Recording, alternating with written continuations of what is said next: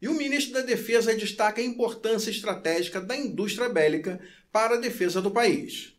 O ministro Fernando Azevedo enfatizou em visita às instalações da indústria de material bélico do Brasil, a Embel, a importância estratégica da indústria de defesa para o nosso país. Um país sem a capacidade fabril de elementos essenciais para sua defesa deixa em risco a sua soberania.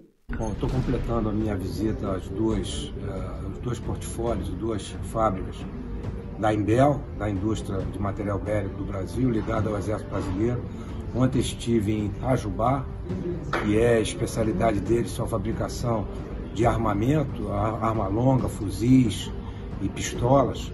E hoje aqui Juiz de Fora, que tem a, a, a capacidade de fabricação de, de munição, de, de granadas, de granadas para armamento pesado. E a constatação que eu faço da MBL é que ela realmente é uma indústria necessária, estratégica, muito importante para a soberania do Brasil, para as Forças Armadas e para o Exército Brasileiro. Então eu termino essa visita aqui em Juiz de Fora, a Embel, convencido disso.